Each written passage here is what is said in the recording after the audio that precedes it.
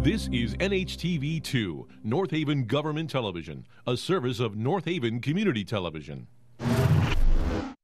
The following program is brought to you through the support of the town of North Haven.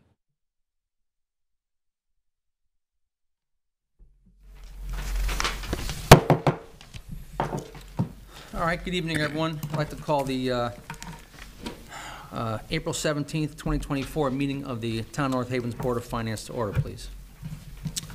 Uh, One or two things before we get into the agenda, if you don't mind. Um, The email address for the Board of Finance has been uh, published. It is on the agenda for every meeting. It's at the bottom of our agenda. It's also published on the, uh, the town website under the Board of Finance section, sorry, the Finance Department section. However, I will repeat it here as we have in the past few times. It's Board of Finance, one word, B-O-A-R-D, O-F, Finance, F-I-N-A-N-C-E, at North Haven, again, one word, no space, so N-O-R-T-H-H-A-V-E-N, dash CT dot gov. Uh, And then one other item, um, the first selectman has been asking every one of the chairmen of the various boards and commissions of the town to um, just make a quick comment, um, which, by the way, before I say what it is, I will say that I don't think we've ever had a problem on the Board of Finance or its, uh, or its guests. But um, please just remember, it's a public meeting. Um, Let's just try and maintain a certain uh, level of civility that's obviously between our- the members, which has never really been a problem, but also between uh, those in attendance um, when they might be speaking either to the board or to uh, other people in attendance. So I appreciate that. All right, um, we're going to go through our regular agenda. Um, We will be finalizing the budget uh, towards the end of the meeting. Uh, So let's start with the minutes, please, of last month's meeting. Uh, Any comments on the minutes?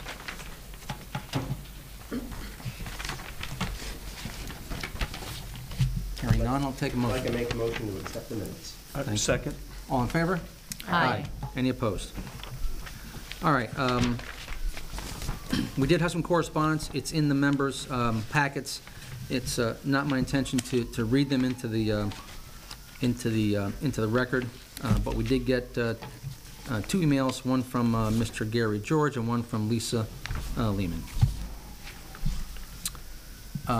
Also, under old business, there was two questions that arose last month, which Ingrid has looked into, and if she could please just talk about them. Yes, there was a question for the part-time personnel in police. Uh, The chief says this is, this is a funding that is intended uh, for part-time, part-time dispatchers, but they have been short-staffed. So that's why the line is um, low. Uh, They usually work nineteen point five hours.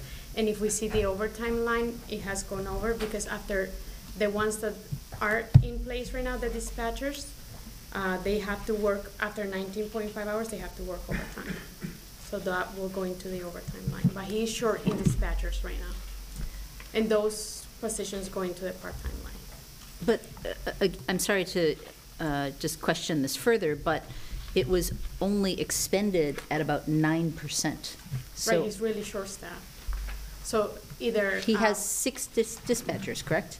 I'll have to ask him that. Because it's only gone from 9% up to, this month, 12%. And so it it just seems to me that either that line item would be way over, and then you go to overtime, No, or there's some... their contract, for the dispatcher contract, after nineteen point five hours, they'll have to get paid on the overtime line as overtime. So if he has a one or two people, and then he'll bring somebody else to cover, they'll have to get paid out of the overtime line to cover those shifts. Right, but uh, again, by this point in the year, one would think that the part-time staffers would be kind of maxing, or at least at seventy percent of that line item, not nine percent or twelve percent. Yes. And- He did mention that they are um, short-staffed, so it's probably covering one or two people, and then everything else is paid out of the overtime line. Okay. Uh, Mr. there Chairman, was- oh, I'm sorry, go ahead. No, no, Okay. your second point. There was also, um, on the dispatcher expense line, a question about that. Uh, This line is usually $18,000, but this year is, um, that's page, let me see, to the page really quick. It's running under, and this is because they had um, a credit from, uh, they were billed wrong uh, previous year, so they're using that credit to fund that line. So that's why it's low. And this is a, a state mandate uh, for emergency medical dispatching, quality assurance. Nancy, you gonna ask something?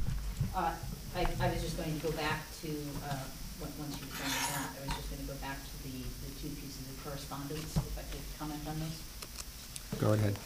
Uh, Just very briefly, uh, I just want to, I'd just like to commend uh, Mr. Gary George on his uh, communication to this board.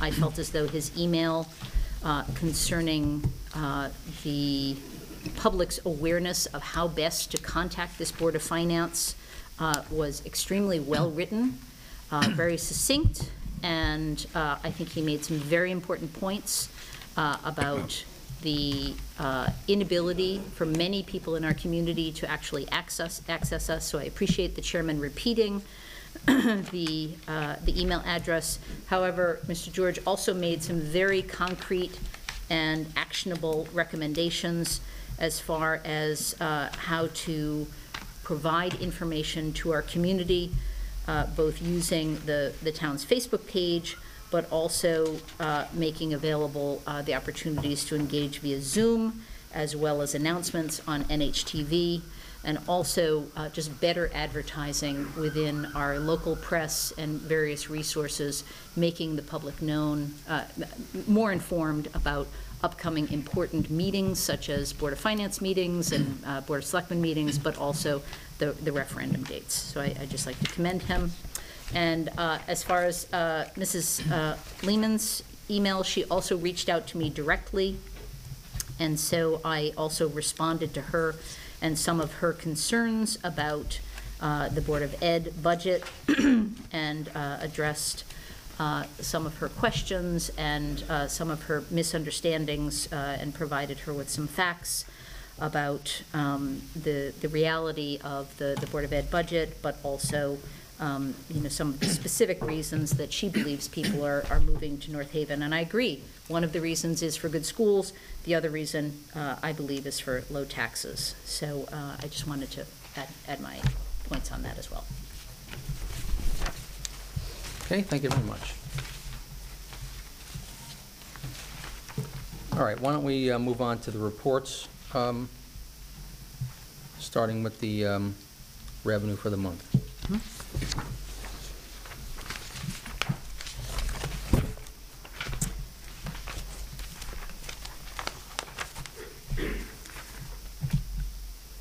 I have a question under uh, State of Connecticut Town revenue. Uh, The Mashantucket Pequot um, revenue is only, uh, I'm assuming it's paid in three installments of one-third each? Yes. But we've really only received one of them, and there's, We just received one in April, Oh. and then uh, I I see. I checked on that, and the other one is going to be in in June. June. Yes. Got it. Okay.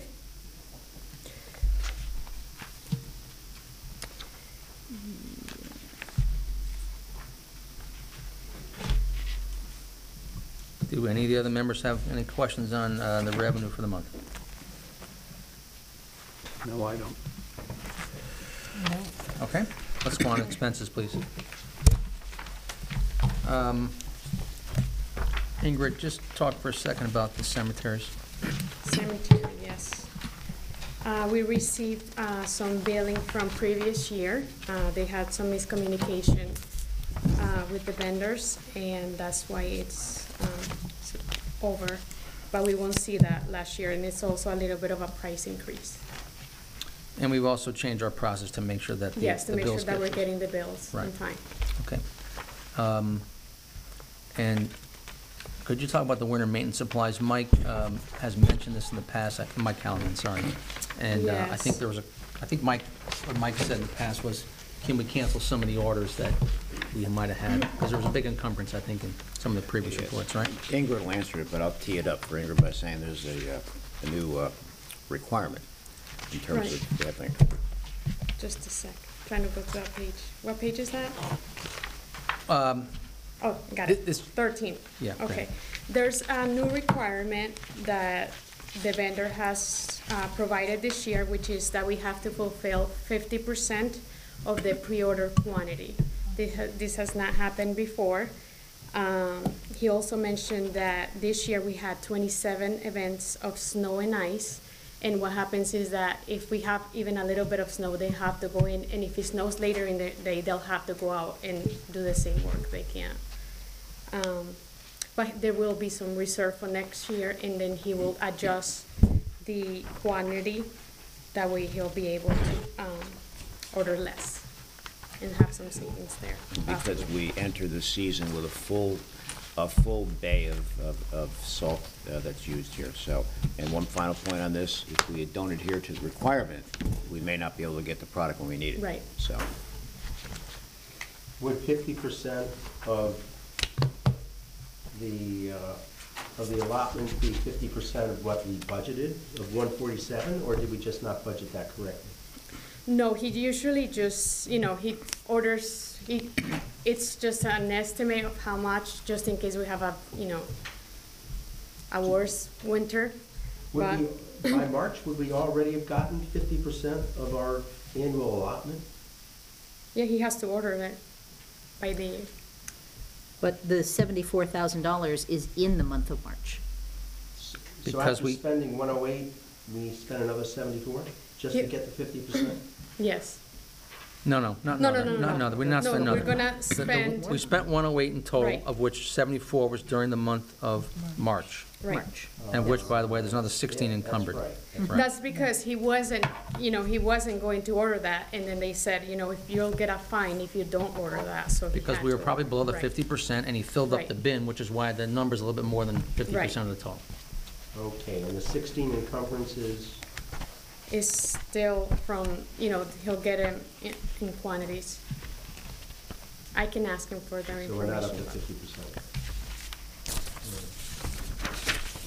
Okay. Fifty percent, I don't think we budgeted that line correctly. Okay. You think, you think we budgeted too high, Mike? What do you think? Well, if we needed a hundred percent, we would have been well behind. But, uh, we- we have twenty-two thousand remaining in that line. Um, Okay, It's just a reserve quantity, it doesn't mean that he has to, yeah, he had okay. to order. As long as, as long as we have it, as long as it doesn't disappear, it's good. Okay.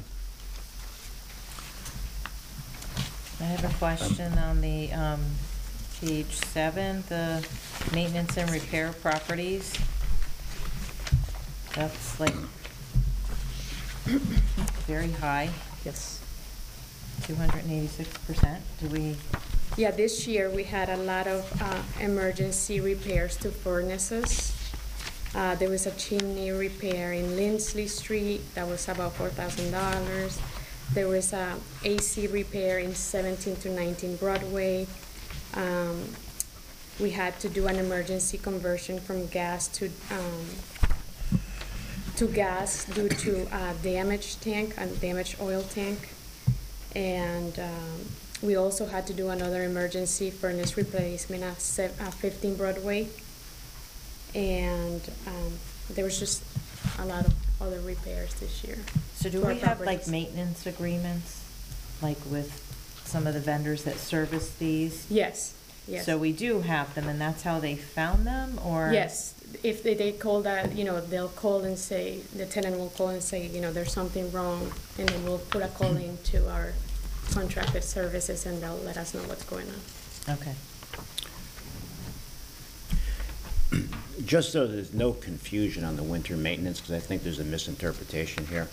The seventy-four thousand you see is the fifty percent pre-order on next year's budget of hundred and fifty thousand. So we moved from one forty-seven to one fifty on winter maintenance starting in July. So that's what the seventy, he had, he had to do a pre-order against next year, I mean, next fiscal year. So if you take the seventy-four thousand seven seventy-one, multiply it times two, he put fifty percent of next year's budget into this. He had to pre-order it. That's, the that's, should eliminate any confusion on this. I I guess the question is, how far in advance do you need to pre-order? Because the next fiscal year begins in July. Yeah, so So, he, we- he pre-ordered it in the uh, ninth month of this fiscal year. So he got to put a pre-order in because the supplier, the manufacturer, has to have the pre-orders in so they can manage their own inventory. Can't put the pre-order in in on July 1st. You have to put it in in advance. I think it's pretty clear. and, and the $16,000 encumbrance, do we still need to pay for that? Yes. And what does that pay for? That pays for the winter maintenance supplies. So you get the 16,000 encumbrance On in the- top of? On top of the pre-order. That's what, that's what Ingrid's trying to explain here. It's a fifty percent requirement against the fiscal year starting in July's budget. Fifty percent has to be pre-ordered. And once again, let me repeat, if we don't comply with this and we need it next year, we may not get it. But 74 and 16 is It- 90. It's two different issues. Seventy-four is the pre-order. Yep. For next year. Uh-huh. Seventy-four thousand, seven seventy-one falls just shy of next year's budget of hundred and fifty thousand. Okay. So the encumbrance is for, is for what they need now. So it's for what they need now, plus a fifty percent Yeah, pre-order for, starting in July. yeah, now, now that does make more sense to me. Because uh, out of the, out of the year-to-date spending of 108, 74 was for next year, which means that uh, 34,000 has been spent for this year, plus the 16 encumbrance, which is 50, which is pretty low for this year.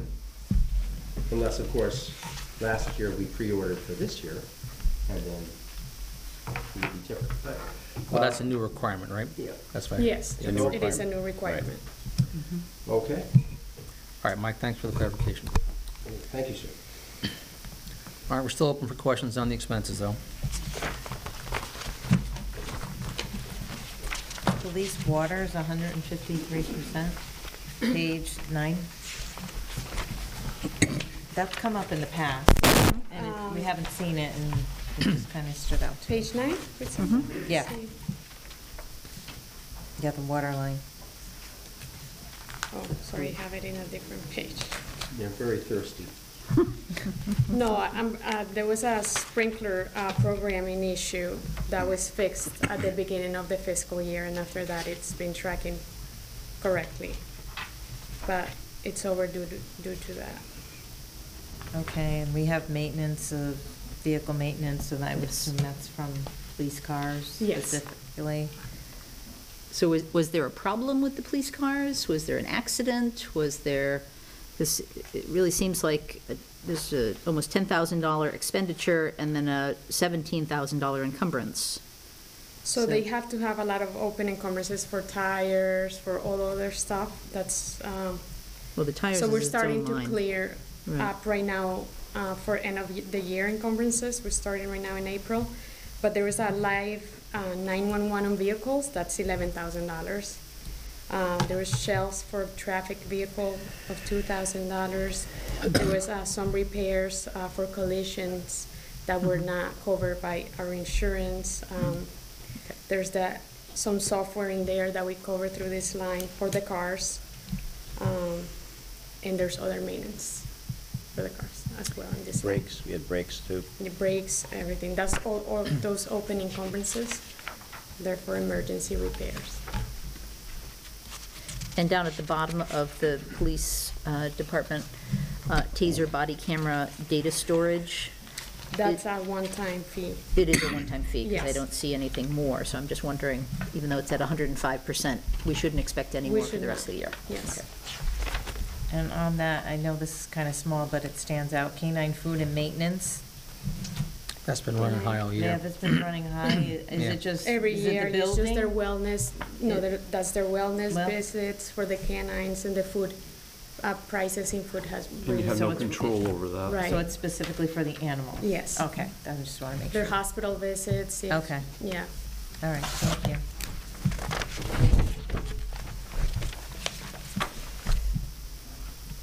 Any other questions from the members on the uh, town side expenses? I think a general statement that there is a lot of maintenance and repair on vehicles. And there seems to be uh, office supplies, um, and that's not a shock. We've seen this. It Looks like a lot of departments have a need for that.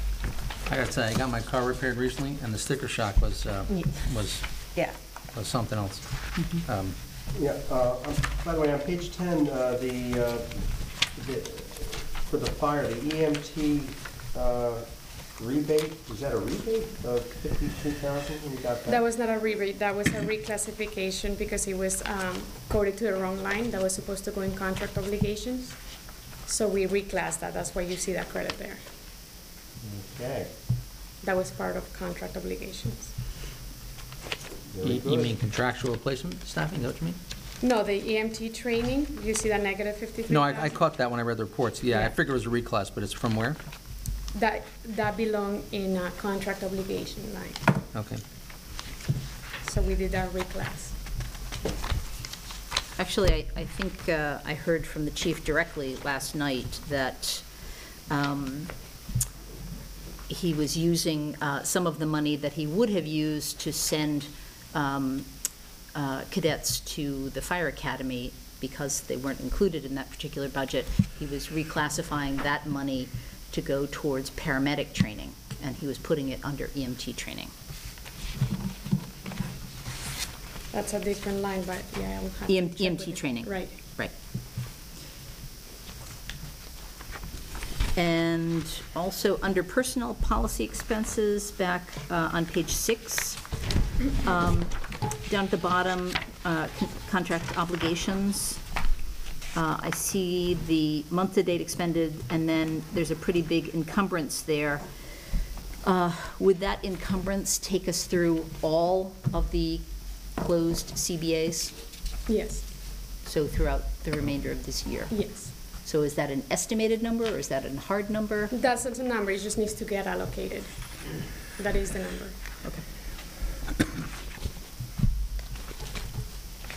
And lastly, um, I think Mr. Chairman had asked uh, last week about something that I had raised in- under capital, which is on page 18, and that is the, uh, the LIFEPAK 15, um, which was listed as $50,000, and I think we saw one monthly expenditure of about 24, and now we see another for about 34, and I just wanted to clarify that that is in fact um, a $50,000 single piece of equipment for the fire department. It's a- an extremely important uh, piece of equipment. It's a combination EKG reader and a defibrillator. Um, And I did confirm with the chief last night that he has in fact um, received the item. So in addition to it being paid, they do actually have it in their possession now, so. I'm glad to hear that.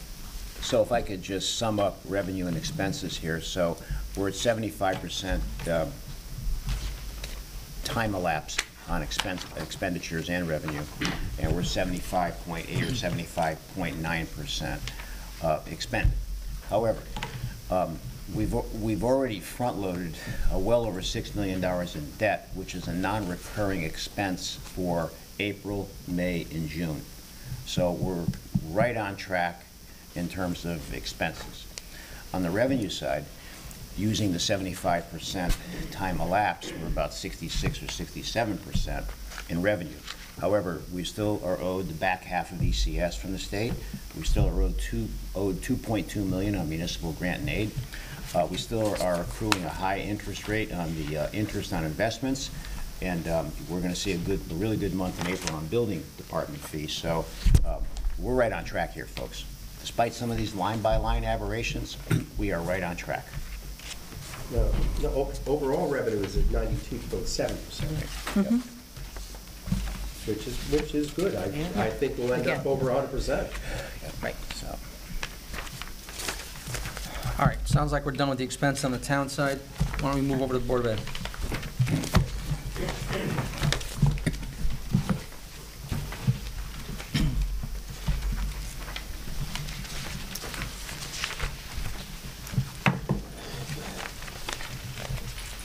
Uh, It sounds as though they have received several bids for their RFP for uh, transportation company. Mr. Frieda, do you know whether any selections have been made? Uh, No, I don't think a selection has been made at this point in time. But um, what I'm doing is I'm working with them to find an alternative location to store buses in the event they do make a change. And I've already got that mapped out for them, and they're happy about that, so. Right. They storing them on, on Second Point right now, behind the, behind the old Chuck Nitty, is that what they're doing? Uh, No, that, that's, that's somebody, that's somebody different. That's a private property owner Oh. that's leasing it to somebody in New Haven. Oh. We, the, the M and H stores buses on uh, Quinnipiac Avenue. Yeah, I know So, it is, yeah. But I've already Right. mapped out a plan for the Yeah. Board of Ed to uh, uh, replace the storage there if a change is made Yeah. with a new location. Okay. Sounds like their deadline was April 10th, so perhaps we'll have a decision sometime soo- soon, I'm hoping.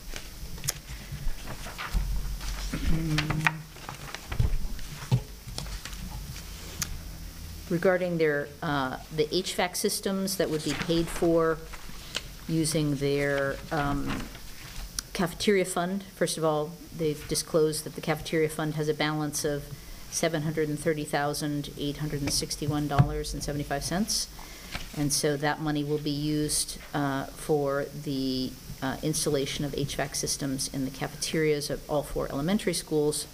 But, uh, Mr. Frieda, just to clarify, this is something that would be specifically to, to make the environment in which the staff that's working in the food preparation area cooler. It's not necessarily Yes. to cool the entire space where the students are actually seated. Is that correct? Uh, That is correct. However, there could, we could have some residual effect that it could be, it it could have some cooling uh, capacity in Mhm. where the students are seated, so. Okay.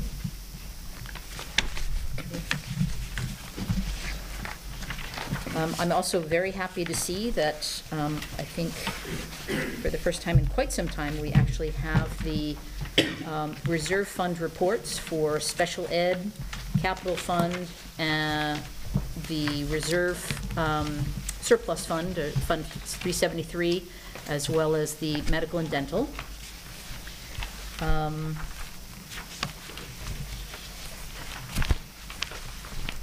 As far as the uh, surplus fund, or Fund 373, I think he- everyone on this board recalls back in September of, September 18th, to be exact, we received a good faith uh, estimate from the Board of Education Chair, Ron Bathrick, um, with a proposal for the use of the $441,035.41 that we rolled over, that was surplus from the last fiscal year, we rolled into this non-lapsing fund.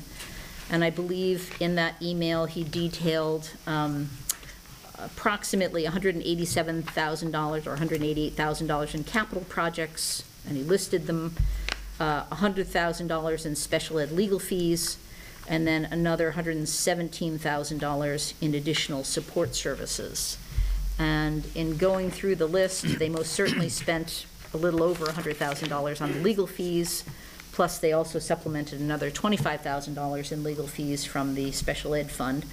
Um, But as far as the capital projects, as far as I could tell, I only see two of the eight projects that they listed, they've actually financed using this fund this year. Um, The Montowese uh, exterior dock and the high school replacing some classroom chairs. There are a few other things that are listed here, and I'm not sure exactly what they refer to. Um, And I, again, I have no way to determine whether they paid for this additional support services of $117,000 for two paraprofessionals to support new students and a registered behavioral technician to support the ILS classroom. Nancy, just on that last part, where are you reading that from? Because I don't see that in, in Fund 373. Which which one, which are you referring to?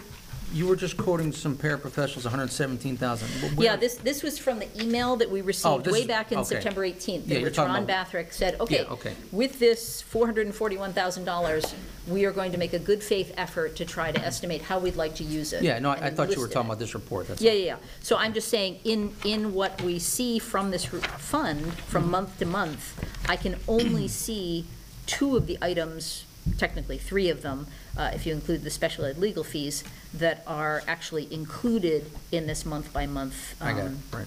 deletion, or uh, expenditures.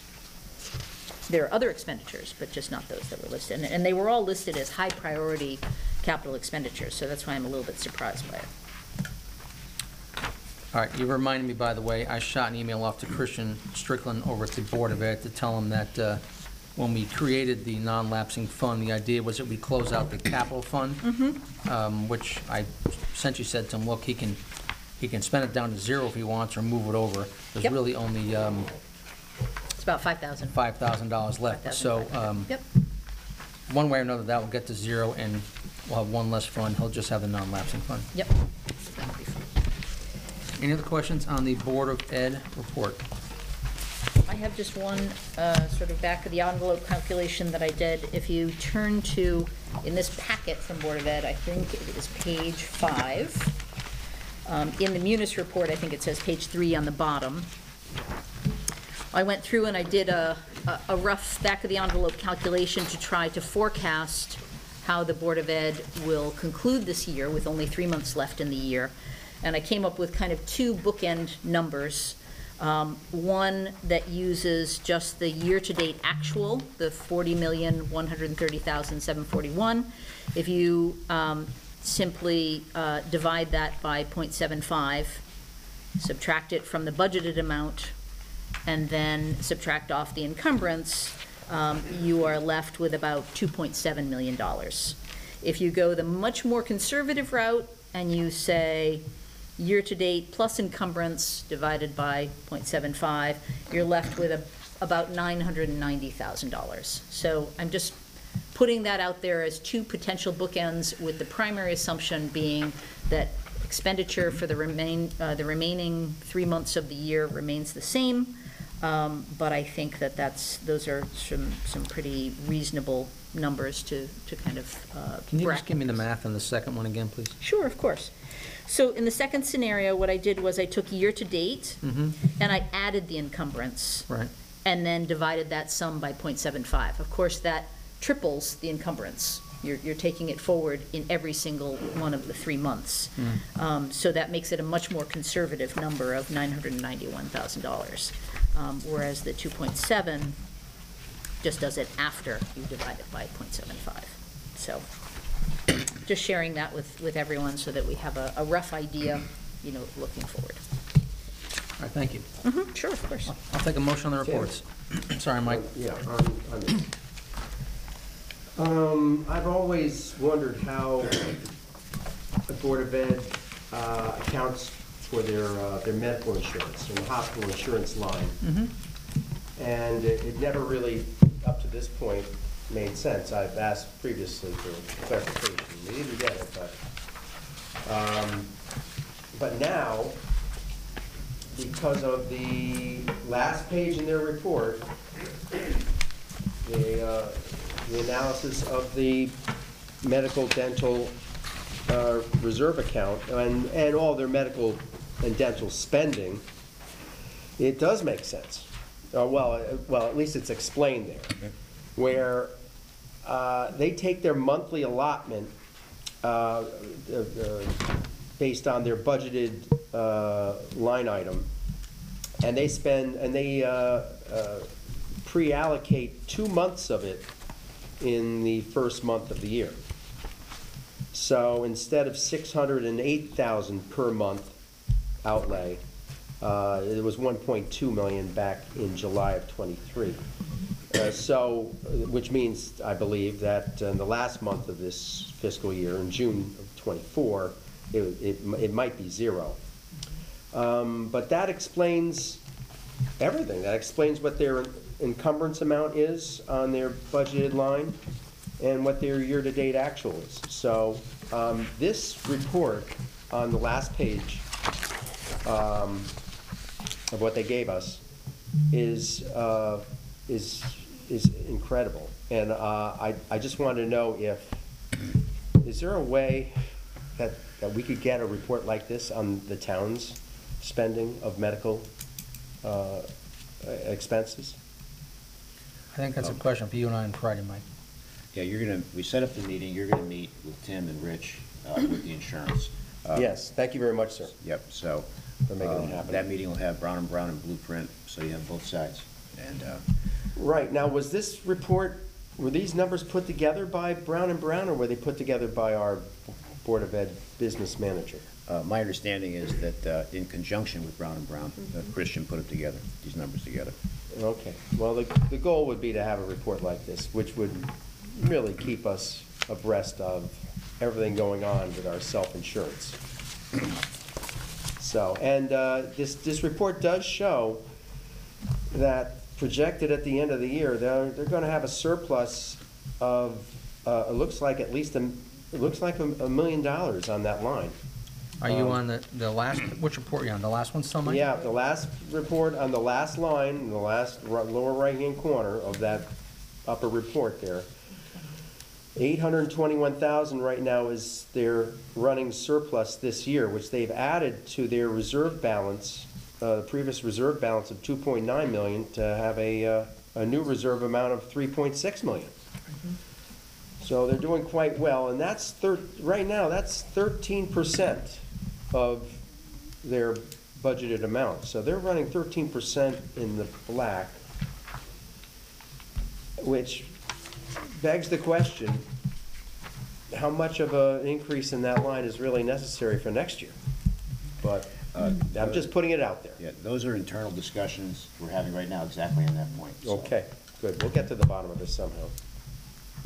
Thank, And, and even with the, on the front page, they, they uh, indicate that even if it's adjusted for April contribution, the medical reserve account balance would be three million twenty-one thousand four sixty-two. So again, that still qualifies as the third category, which is um, maximum level reserve requirement. So they have the three different levels, so. yeah, and just a reminder to anyone who looks at our, at the town side of that uh, budgeted line item, we just uh, expend one-twelfth of our budgeted amount every year as, for accounting purposes, but it in no way directly relates to the amount of, uh, of actual uh, claims and administrative expenses, which somehow is rectified internally at the end of the year with uh, whatever reserve account that might exist. I guess it'd be a good question for Friday, Mike, because it's a good observation you're making, and I also noticed that the claims in July were a million dollars, so there must be something that we're gonna learn that, There's a lot of good questions for Friday, yes. Yeah. So I'm gonna tee up, I'm gonna tee it up for you, because we set the meeting up for you based on your request. We put in about seven hundred thousand a month, which yields about eight point four million. Um, and our claims are probably annualized now about nine point four million. So we're, uh, so that ate into the reserves, because the claims are, are very high. A couple other things on this is that, um, the, uh, we're part of an ACES consortium with other groups. And the stop-loss um, ratio, which is usually estimated to be about ninety percent, is now hundred and thirty percent. So um, what that means is administrative costs could go up simply because they're gonna pass along the increase, and we would go from potentially two hundred and forty-two dollars a subscriber to about two hundred and eighty dollars a subscriber. So this is the whole consortium, it's not just the town of North Haven. This whole consortium we're part of is experiencing these massive um, increases uh, in regards to uh, claims history and the stop-loss issue I just mentioned. So that's a problem. That's why we have this high number, twenty-six percent, million nine, including the retirees. That's part of the problem here. Um, Good news, though, and I'm not sure how it's gonna play out, March's numbers, um, we came in uh, at, uh, in the six hundred thousand dollar range. Yes, I know a nine hundred thousand So we month knock, got we knocked knock off. off a nine hundred thousand Yeah, dollar number. that's, that's nice. So we pick up three hundred thousand in March. Hopefully, the trend in April is the same. We thought that a couple of months ago. We had a low month, and then we got hit with a high month, so. um, But because we have a dilemma within the ACES consortium with the stop-loss issue, We're not sure if- how much we can capture in terms of uh, the gain for us and the reduction in the budget on the $300,000 in March of '24 versus March of '23. Well, it's only twenty-five thousand dollars. Right, Right, because if it's a thirteen-month average, right, that's what they're doing, right? So it's a nice drop, but because of the way the math works, it's only gonna be twenty-five thousand dollars. So if we look at it, you can look at it that way. You Pick up 300,000 on a month-to-month swap, but you amortize it over the months, Yeah. Tim's right. So, But ju- just to clarify, Mr. Freda, um, if we actually look at our expenditure report for medical insurance in our expense reports, it's actually broken out into two lines. In our budget, they consolidated into a single line. So medical insurance for active employees and medical insurance for retirees is two separate lines, but um, both of them are currently, through March, trending at 75%, correct?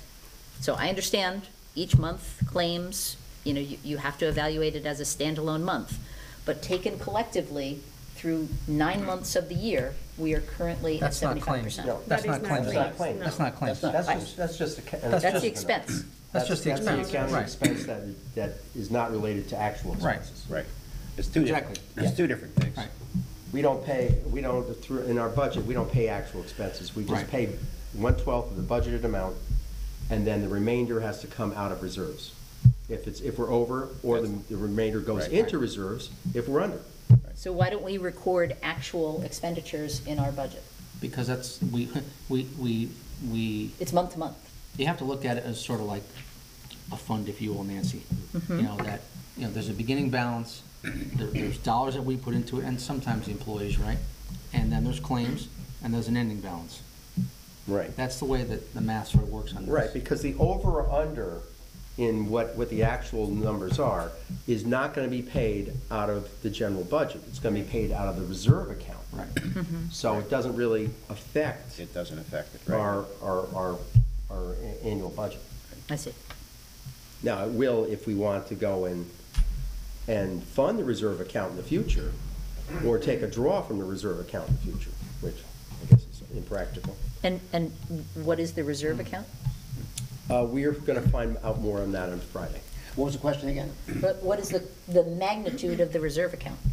Uh, We're probably at zero right now. The town side is zero. We have zero. For the, for the reasons I just mentioned. Let me repeat it. I know it's complicated. We're, we're budgeting seven hundred thousand dollars a month. Ends up to be roughly eight point four million. The claims have run nine point four million. Wiped out the reserves because we have to tap into the reserves to make the payments. So we're at zero on the, on the reserves.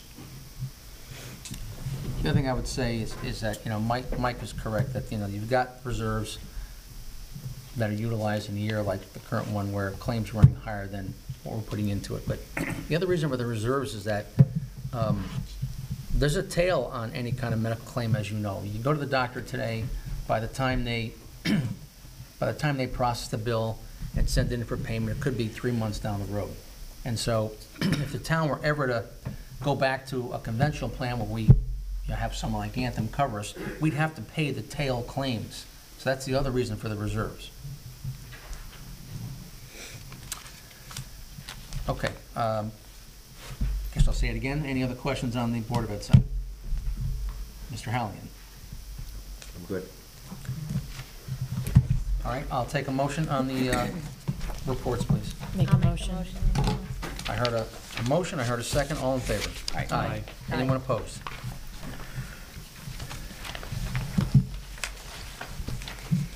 Okay, we've uh, come to the point of the agenda where we um, need to finalize our resolutions for the, uh, the budget.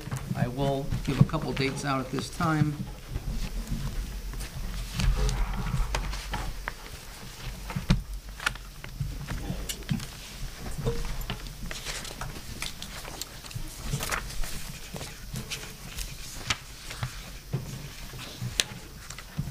Okay, sorry. The annual budget town meeting will take place on Monday, May 13th at the high school. The uh, referendum is a week later. That's on a Tuesday, May 21st.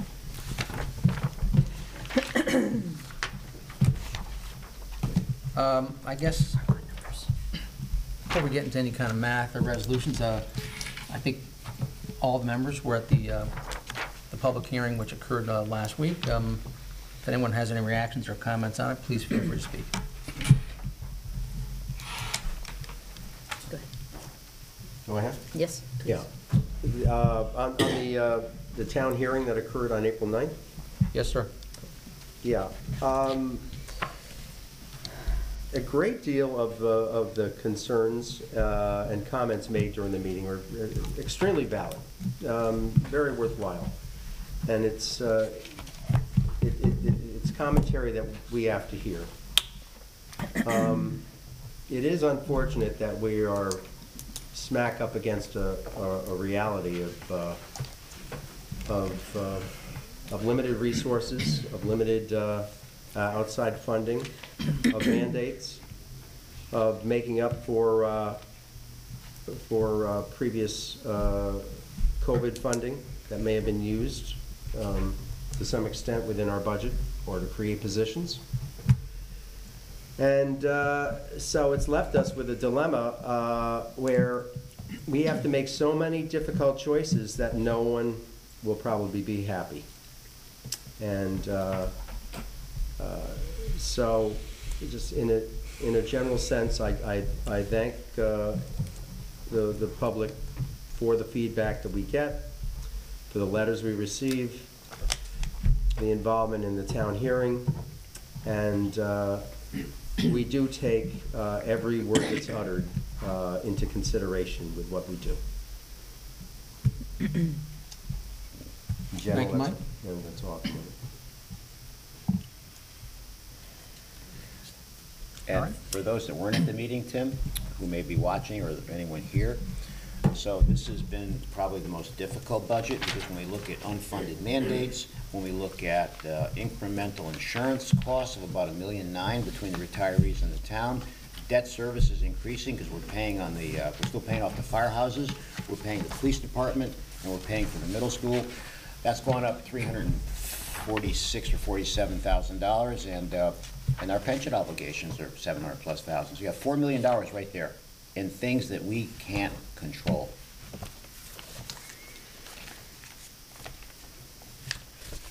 Uh, Other members have comments on the uh, budget or the meeting? Yeah, I'd like to make a, a few comments if I could. Um, Again, some of the points that were made um, by those who attended and spoke at the microphone at the public hearing, um, as, as Mr. Hallahan alluded to, I think we all listened to them very, very carefully. Um, Those of us who were present, those that watched it on, on uh, video recording. Um, But I think that the people that speak at the microphone, the people that write to us, we've only had two, two emails. I think that represents a very, very small fraction of the type of feedback that we get individually from people that stop us in the grocery store or after church or whatever the case may be, people that call Mr. Freda. Um, And so I think that um, I certainly have received a lot of feedback from people in our town that are very, very concerned about having back-to-back uh, mill rate increases, um, 1.94 for this year and proposed 2.65 for a total of 4.59 mill rate increase in a two-year period.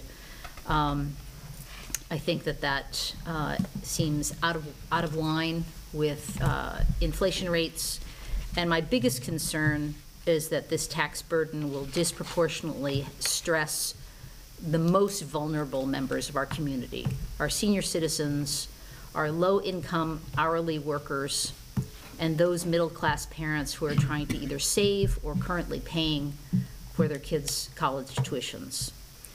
So uh, I really tried my hardest to try to get this mill rate down. As you all know, at the last month's meeting, uh, I stayed up until about 4 o'clock in the morning trying to put together that list of uh, expenditure reductions and and revenue increase uh, projections, uh, because I really firmly believe that the 9% increase on the town side, as well as a pretty substantial BOE increase, uh, is just not going to be something that many people in our town can withstand.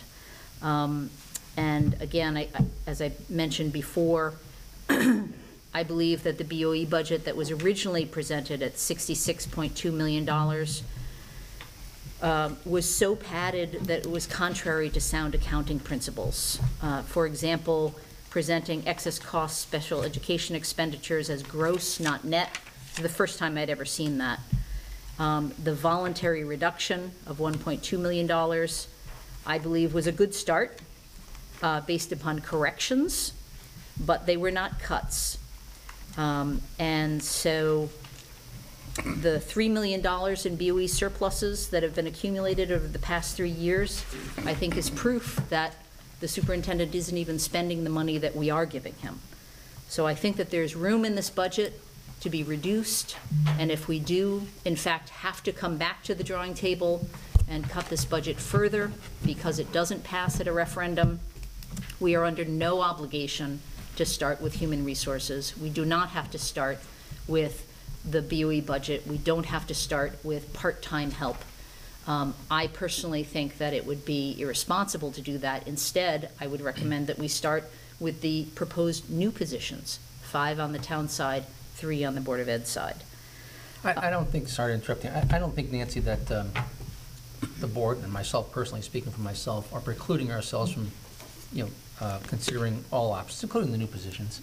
Yeah, I think the point on the uh, part-time is that, uh, I think most of us recognize that, you know, when you have to make substantial cuts to a budget, if in fact this were to get turned down, there are maybe some line items that are non, um, non-salary related that you could cut or adjust. But unfortunately, at a certain point, it oftentimes comes down to bodies. And I think the only point there was just to let the residents know that because of the way the union contracts are written, um, if we do get to cutting bodies, we do have to start with the part-timers, and that will disproportionately affect some of the departments in town. I think that was the point of that. That was exactly the point. So the part-timers stretch across a lot of the different departments, park and recreation, pool, tax department, um, and other departments. So what I portrayed was, for those that didn't see the meeting, for those that didn't even know we had a meeting, that I mentioned a few moments ago, we have $4 million across a few categories that represent, we can't do anything about it. We can't cut back on insurance, we can't cut back on pensions, we cannot not pay the debt. And the, um, the other component that I mentioned, uh, we have to, we have to do these things. That 4 million is about 1.5 mils. If we didn't have to contend with those increases, we'd be looking at a 1.15. That's still high in my opinion. The point that I portrayed at the town meeting to hear the budget was that the way it works on the town side is that the first people who have to go in a failed referendum are all the part-timers, not the full-timers, by union contracts. The part-timers that would go would affect negatively the pool hours, because lifeguards are part-timers, would affect library services, would affect our concerts on the green, and would affect our tax office hours. So when you don't have the part-timers, you can't deliver the same uh, quality of services. So my point at the meeting, ladies and gentlemen, was this mill rate increase, I'm not happy about. But it, what it does is it preserves the existing services and adds two police officers. Now, my position is that if the budget fails, I wanted everyone to know what could happen. And if the budget fails, and I'm encouraging people to come out, I've spoken to hundreds and hundreds of people since that meeting. And uh, I take the time with them to tell them what this is about. Some say, now we see your point of view. We're- We'll grudgingly vote for it.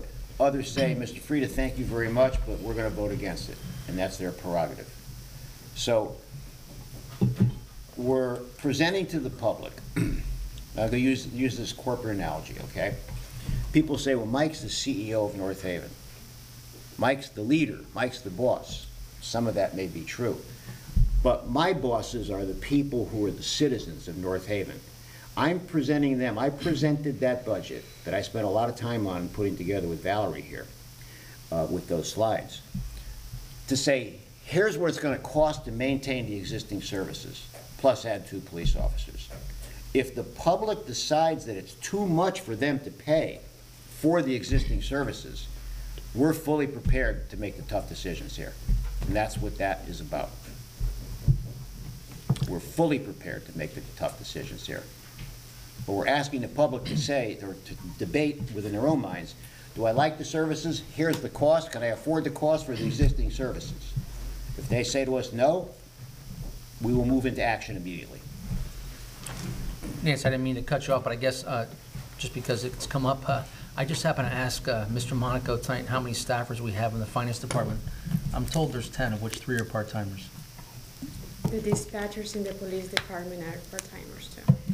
All the dispatchers? So, a- again, I, I don't know why the Well, I'm- only choices are to Well, start with either part-time Again, or I I full-time. said one of my remarks, that's Yeah. not what I said. Right, right, right. But it- it's what Mr. Freda is alluding to, that because of union contracts, we can't start with the full-timers, so we have We to start. can't. But we could not achieve $3.3 million by firing part-time help. We couldn't get there. It would be death by a thousand Well, cuts, and well, our we'd board never would have to get find a there. solution, but that doesn't make, change the facts. We wouldn't get there. Well- We would have to make cuts elsewhere Well- in order to No get one's saying we to. wouldn't do Yeah, that. we would have to do that. We, yeah, because. But why would you even start with part-time help? No one Why said wouldn't you that. That, no one's ever said that. I just said a second ago, uh, no one's precluding other cuts, but the only point was to say that eventually, unfortunately, if you have to make a, a sizable cut in, in this organization and a lot of others, unfortunately, sometimes it comes down to, to staff members. Nobody wants that, okay? And if we can find cuts elsewhere and have no layoffs, then great. I think the only point was just to let people know that if it does come to that, it's gonna affect some departments and you heard which ones are, they would affect.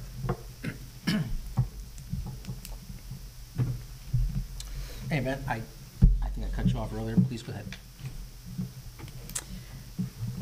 Uh, So, uh, uh, again, I, I just feel as though this particular budget, as Mr. Freda said, doesn't necessarily, at an additional $8.8 million, does not deliver new services. It doesn't really even deliver enhanced services. It delivers the exact same thing, but $8.8 million more expensive.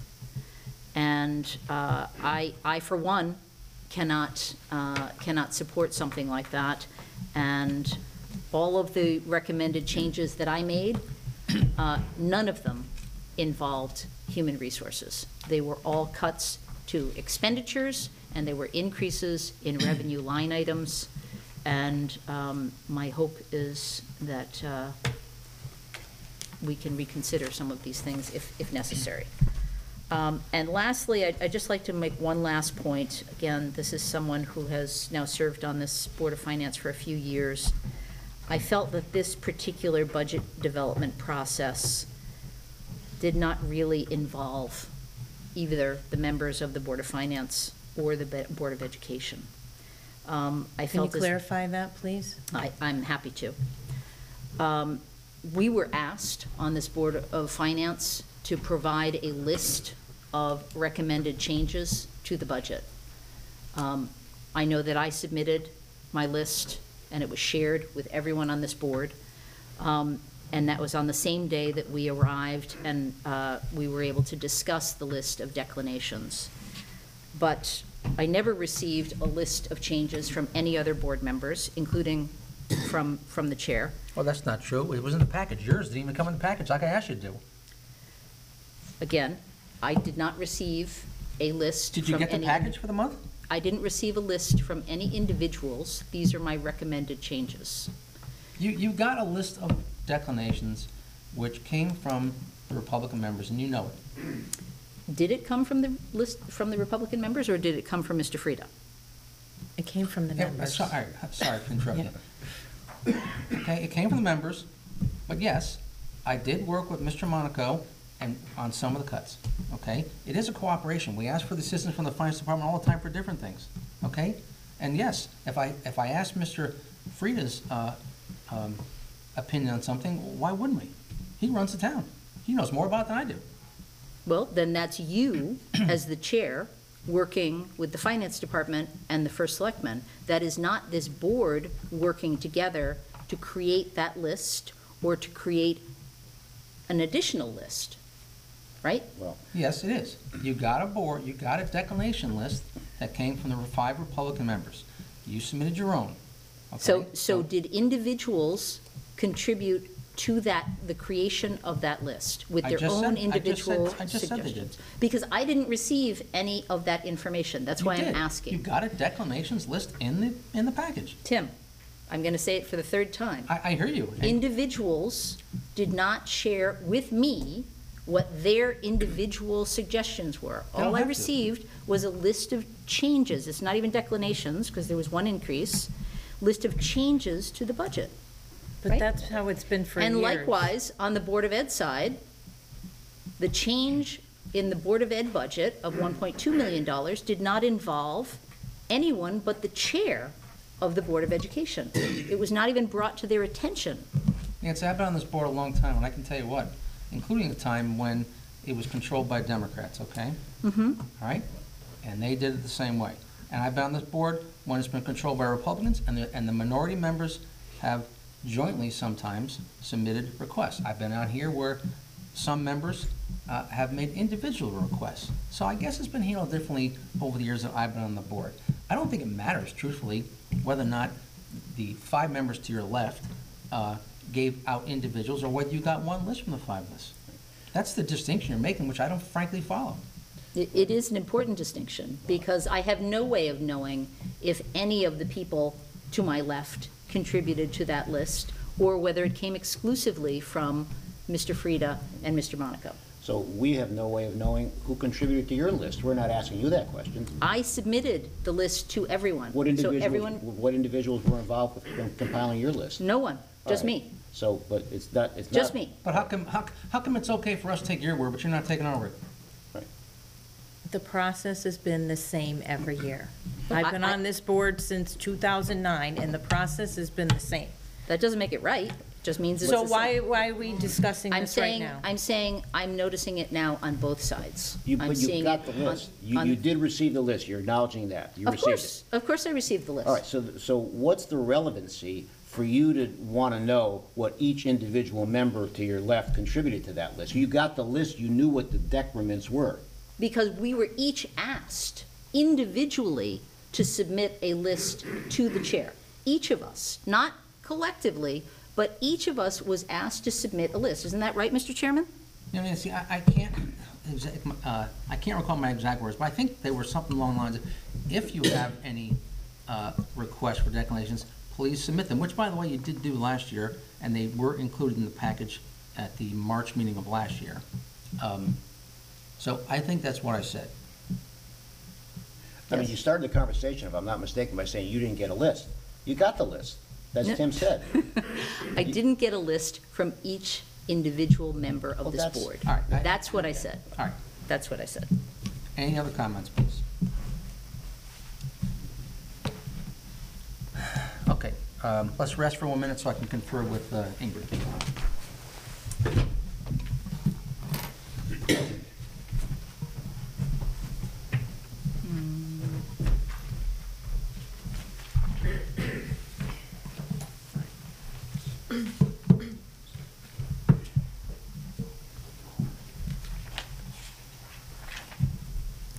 While that's happening, could I, could I ask Mr. Freda a question? Please go ahead. Um, Is there any possible alternative source of funding for the extrication equipment for the, for the fire department? Can we get that somehow? Maybe the left, uh, we- I think we had seventy-five thousand left over in MRSA money, right? Uh, Ingrid had, um, she did, sorry, let her do these numbers, but she was gonna give us a reconciliation, I remember. Yeah. Uh, so I think the answer is yes. Mike. Yeah, that, that, because that's a public concern, right? We have to do the extrication. Yes. Equipment. Yeah. I suppose, yes, but, you know, we run the risk of if we say yes, and then we can't find the money. That's money. just the way it's, it's I don't- I don't think so. Um, So we gotta find the money. We'll, we'll run a fundraiser. We gotta get that money. But, Come on. but still, you know, how much, Is it, is it 200,000? How much was that piece? Um, It's on page 38 in the capital. Yeah, okay. Yeah, I thought it was- I would say that's a, s- you know, that, that's a sore point. I, I would completely support that. I just support These are obviously right, I'm just ballpark that. the second year. Oh, right here, I have it. and I support extrication equipment as as No, it's not. Yeah, it's out now. I'll bring it back. Um, but How much was that? It's out, it- it's out, I think it was, Okay. it's not and I shown have an here. older. But, look, right, yeah. it is. uh, But you will, you will work try to resolve that one. It's our goal to get it, Yeah, you- I- but you can't, we can't, we're not budgeting it. We're gonna try yeah, to we can find. find some donors or something. Yeah, no, it's taken No, I out. think, I think, yes, definitely. Yeah. Thanks. That's great. All right, thank you for your patience. Um, Any final words on the uh, budget? All right, Uh, Well, I- can I just uh, say that uh, I, I, I want to thank the, uh, the Education Department for making uh, some additional revisions to their budget and to getting the number down to where I'm not uh, choking, um, because it's, it's a, it's a, as much as they were behind the eight ball in, in the same way the town was with, uh, with the changes in funding, um, it was, it was still a a considerable increase. Um, And I also want to, uh, you know, thank the Republicans for the first round of cuts that were made. Um, I'm, I'm unable to support it from a, a- the, the, uh, the overall budget from an affordability standpoint. Uh, But I'm certainly going to look and see what the public does. Um, uh, I'll be amazed if, uh, if, if, uh, if, if an increase of over two mil, uh, two mils pass, passes. But if it, if somehow this ends up uh, in the future to come down below two mils, uh, I would, support it. Um, I do know that's a gap of uh, around two point two million, and uh, my main objections are, um, ha- have to do with the, uh, the increase in medical, which I, I, you know, I, I see we're running a deficit this year, I've, I've- been told. um, It's still a, a huge percentage increase. And uh, I hope that we can re-examine possible use of, uh, of of fund balance to bridge the gap. But those are decisions we will, will make in the future. For now, you know, we have what we have, and uh, for that reason, uh, because it's over, uh, uh, an over two mil increase, uh, I'm unable to support it. thank you, Mr. Hallahan. Anyone else before I read the resolutions? I will have three resolutions, I'll read them all, and once I read each individually, I'd please ask for a motion and a second, and then we'll vote on each uh, resolution individually. First resolution is resolved that the Board of Finance recommends a town government budget for fiscal year 2024 and 2025 in the amount of $65,382,423. Make a motion. Second, please. Second. All in favor? Aye. All opposed? No. Opposed. Opposed. Thank you. Uh, The resolution passes 5-2. Second resolution is resolved that the Board of Finance recommends a Board of Education budget for fiscal year 24-25, the amount of $64,972,728. Make a motion. Second. Thank you. All in favor? Aye. Aye. All opposed? Opposed. Resolution on the Board of Ed passes six to one. Final resolution, resolved that a total budget for fiscal year 24-25 in the amount of sixty-five million, three hundred eighty-two thousand, four hundred twenty-three for the town government, and sixty-four million, nine hundred seventy-two thousand, seven hundred twenty-eight for the Board of Ed, aggregating one hundred thirty million, three hundred fifty-five thousand, one hundred fifty dollars and fifty-nine cents, be presented to the annual budget town meeting to be held on Monday, May thirteenth, two thousand and twenty-four. Make a motion. Second.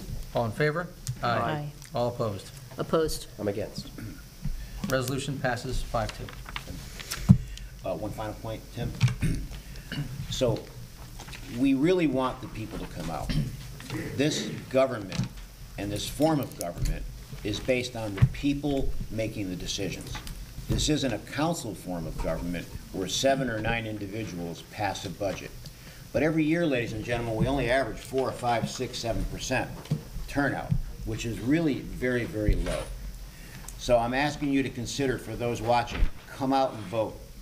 Whether you vote no or whether you vote yes, we want to hear what your, what you produce as results.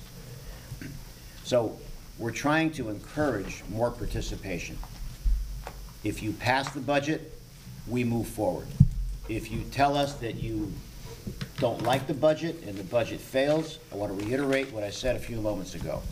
We are fully prepared to make the decisions to represent a new budget to you, should you tell us that you don't want to see this type of an increase. So, we positioned it, this is the cost for the existing services. You tell us whether you're willing to pay for those existing services, or whether or not you want us to go back to the drawing board and make additional cuts. Keeping in mind, we already, to get to this, cut over $6 million worth of requests from the departments to get to a 2.6 mill rate increase. So I would love to see a 50% turnout on this budget. I would love to see it. I hope you consider coming out. Thank you. So, Mr. Freda, is there anything that you're going to do differently this year to encourage participation vis-à-vis perhaps Mr. George's comments or suggestions, or any other techniques that you'd like to employ to encourage participation? Well, it's always been difficult to penetrate 100% of the, re- of the uh, registered voters. So we, we put an article in, in the, Nor- in the North Haven Courier, headlines, 2.6 mil increase. That goes to every city and, t- every ri- citizen in our town. So if that didn't capture attention about the need for vote, to come out and vote, we've reiterated at every meeting, Board of Selectmen meeting, myself, Bill, Sally, we put dates uh, on the overview, reminding people to come out and vote. So Mr. George always is very well versed with his letters, the way he writes his letters. He came up with some good ideas. Uh, We announced it on the town Facebook page about the town referendum. These are reaching thousands and thousands of people, but yet the turnout still seems very low. So we will continue between now and this referendum to publicly promote to come out and vote. And uh, thank you, Mr. George, for your letter. Great. Will, will there be another article just before the referendum saying, you know, this, this is what the budget contains and so Uh, forth?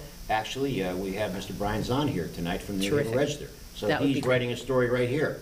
Okay, terrific. So Brian, thank you for coming. All right, thank you, Mr. Freda. I think we're at the uh, moment in the meeting where we can take some public comment. A- Actually, before we get to that, I have one quick question. Uh, Since we're very close to the, the end of our uh, year here of meetings, um, when do we expect to meet with the auditor to review the closeout of fiscal year 22, 23? Um, Actually, I I talked with Ingrid and, uh, and Rich about that. Um, I don't know the answer to that. Uh, We'll probably need to uh, file for another extension. I don't think we're going to see the CAFR till May. So we filed for one extension, and we're debating the second extension. Right. So, and by the way, this is, this is normal in government. We have always had it by March in the past or thereabouts, but um, I just been appointed to a statewide board by the state of Connecticut, a municipal accountability uh, board, because of what we're doing in North Haven.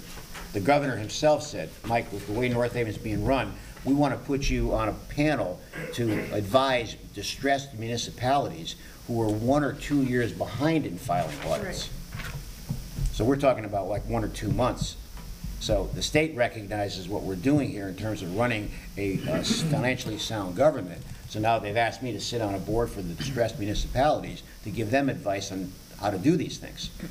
So my point of this story, ladies and gentlemen, is sometimes we get focused in on, oh, it's a one-month delay or a two-month delay. You know, the world, is almost like the world is collapsing. We have municipalities, one year, two years, and three years that haven't even filed audits yet. New ones that are going out for bid, they're getting no bids. I remember when we did an RFP a number of years ago, I think we sent it out to seven or eight firms. I mean, they're just, they just don't exist for some reason anymore. Uh, Okay, anyone else before we go to public comment? Yep. Sally?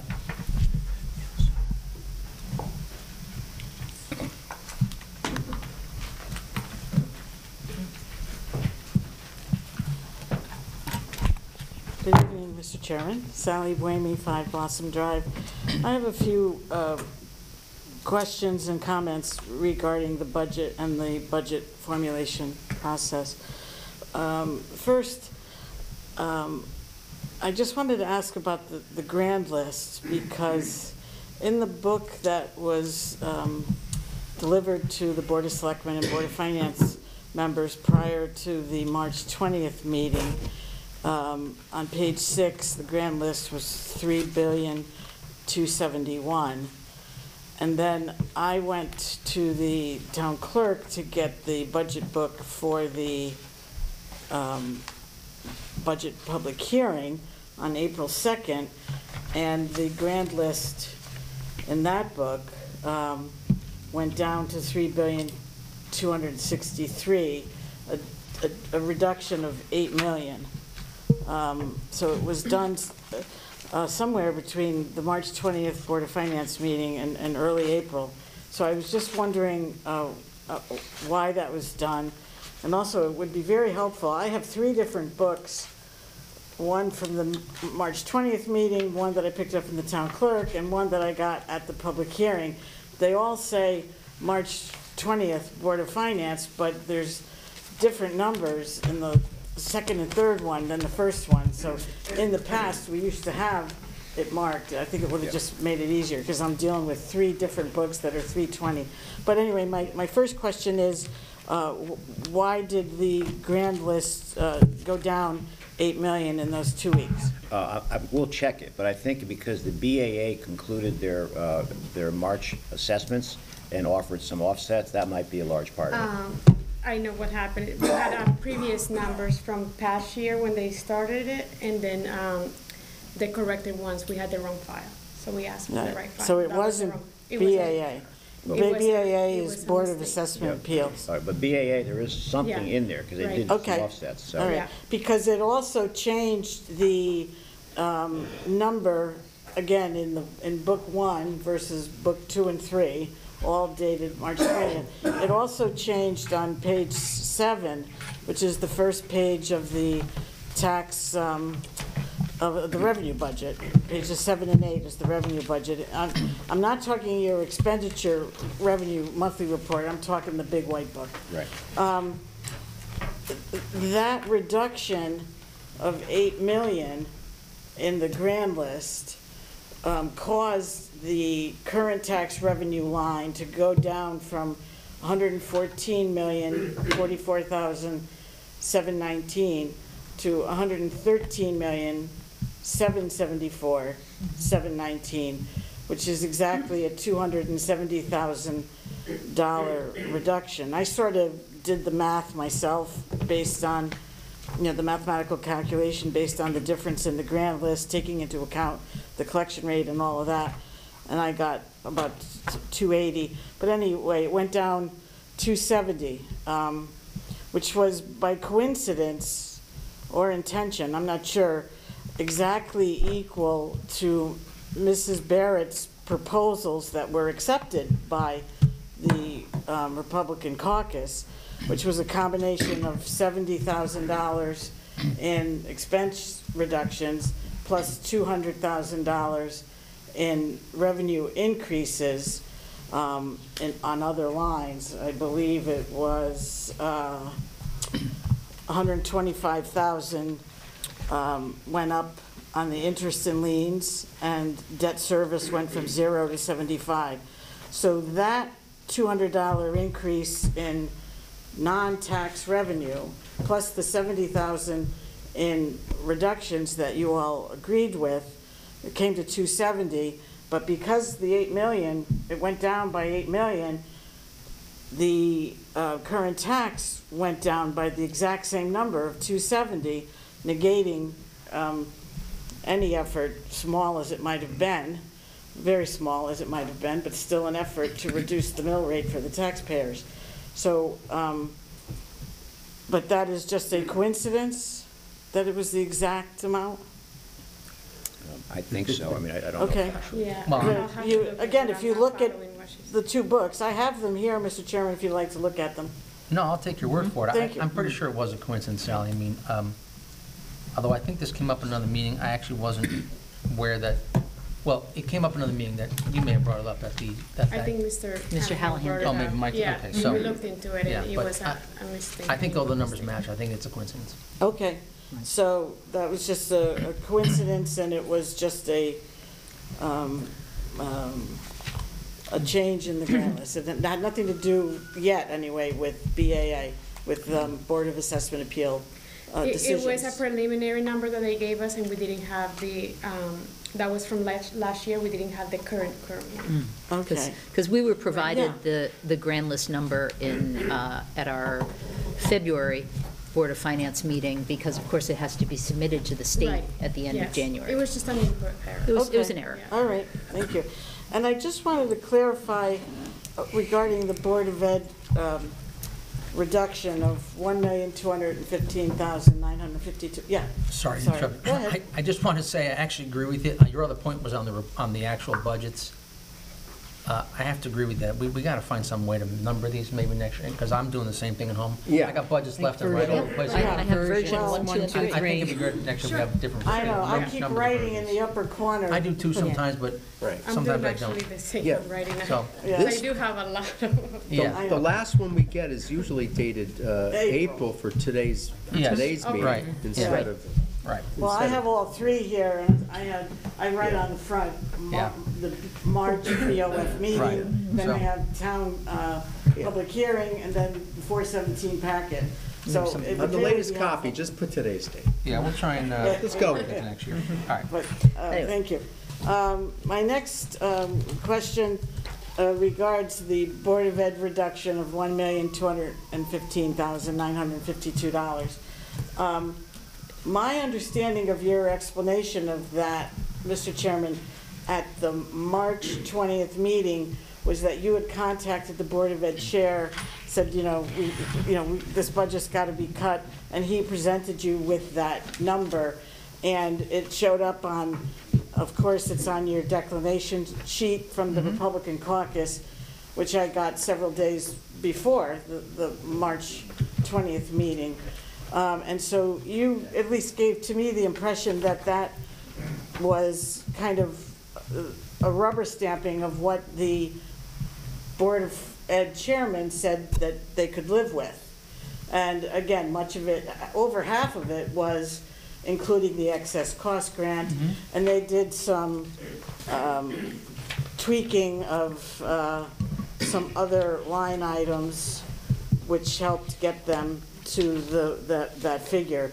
So there was some, uh, the Medicare line, the elect- electrical line, and a couple of other smaller amounts. Yeah. So that's how I understood it from you in, in March, that that was kind of a revised budget, if you will, from the Board of Ed. Am I stating that correctly? Well, I'm not really sure I- I'm following your question, honestly. Okay, at the budget public hearing, Mr. Sturt started his presentation by saying, um, at the March 20th Board of Finance meeting, the Board of Finance cut the Board of Ed budget by $1,215,952. The Board of Ed worked very hard, and then he showed that list of five um, areas, starting with the excess cost grant um, of 688,000 and a few others, totaling the 1.2, giving the impression that it was after the fact. So both versions, yours and his, seem inconsistent. So I'm just looking for clarity. Um, And I think it would also help with people um, that I've seen emails from and have talked to. Um, They think you guys cut the budget, and I thought that the Board of Ed revised their budget by including the excess cost grant, which had never been not included before, and then made those adjustments. I thought that it was their number, Well. I hope I you- say this the right way. Okay. uh, In terms of the timing here, but my recollection was I talked to Mr. Bathrick, who would then talk with uh, the superintendent uh, and, and the finance director, Christian, and, um, and they came up with some of the cuts. Now, I think, Mike, you may have talked to him too, right? Yeah, so in, in conjunction with that, a- and actually before Tim had the discussion with uh, Mr. Bathrick, we had a department head meeting, I may have said this the last time, and at that time, all the requests totaled a four point four mil increase. Right. And I said at the department head meeting, I can't present that. We're not gonna present a four point four, it's not gonna pass. So, uh, all the department heads listened, heard it, and then in conjunction with that, Tim went to, to Ron Bathrick. Patrick already knew, because I had the meeting at the department head meeting, saying, I can't present a four point four mil increase, I'm sorry. And I said it to everybody. So between the two conversations, they came back and they revised the budget. Right. That's my It- understanding. Right. It had the excess cost built in, which, uh, like I said, was unusually left out of their initial uh, workshop presentation. Medical insurance, they um, changed by 360,000. They adjusted their electric projection by 59, their Medicare by 56, and they did an adjustment of professional and technical services at 72,000. Um, But, you know, there are certain segments of the population that feel angry whenever the Board of Ed budget is cut. And 1.2 million is a large cut. But I want people to understand, it really wasn't cut by that much.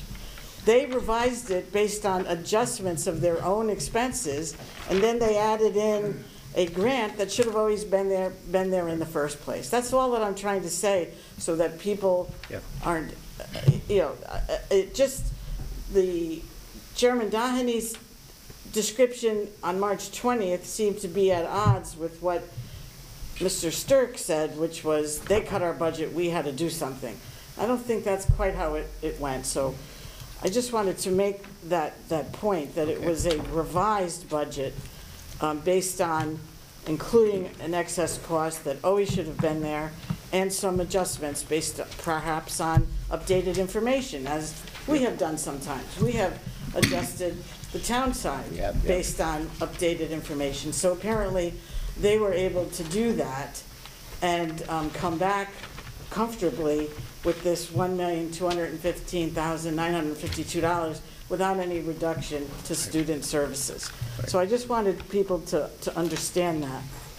Um, Next, I wanted to just ask about uh, the medical insurance again, because I listened with great interest and learned a bit during your discussions of that line and um, in anticipation of uh, this meeting that you're going to have on, on Friday, um, about um, how the claims really aren't reflected in our expenditure book.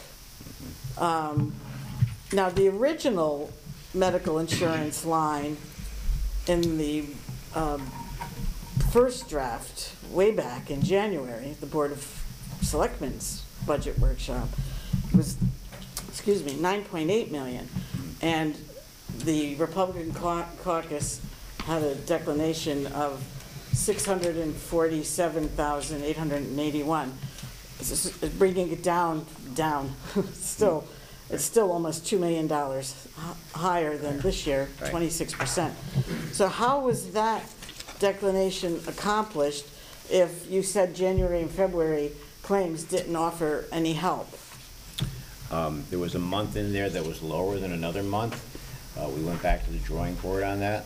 Um, But as it turned out, um, the million nine is Yeah. we're, increase what we're budgeting for, based on additional months of high claims history, and the, and the increase in the stop loss, which we hadn't realized.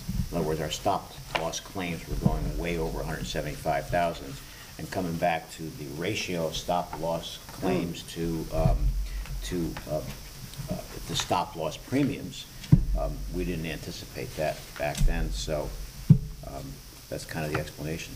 So- Okay.